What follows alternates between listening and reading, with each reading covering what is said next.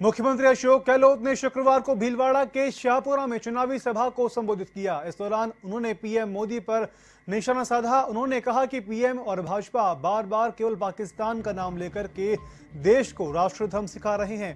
हम स्वयं भी सच्चे राष्ट्रभक्त हैं। उन्होंने ज़ोर देकर कहा कि पाकिस्तान क्या चीज़ है?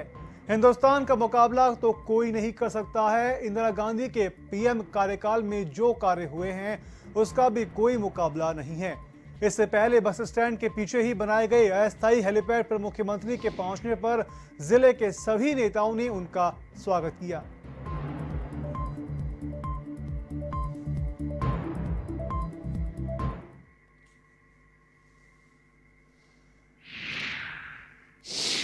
मैं आपको निवेदन करना चाहूँगा, मोदी जी और ये जो लोग हैं, बीजेपी के लोग पूरा देश देख रहा है किस प्रकार पिछले चुनाव में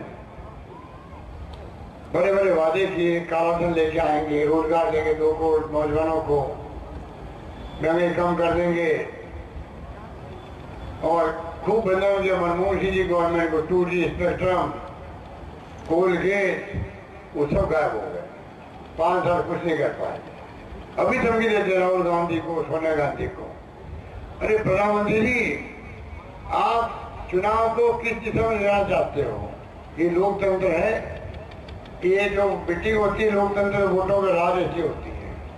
किसान हो, गाँव का मजदूर हो, गरीब हो, दलित हो, पिछड़ा हो, सबको हाथ जोड़ना पड़ता नेताओं को। चाहे प्रधानमंत्री क्यों नहीं हो, चाहे मुख्यमंत्री हो, चाहे वो एमएलए, एमपी हो, मंत्री हो, या गाँव का सरपंच हो, वोट सबको देना है।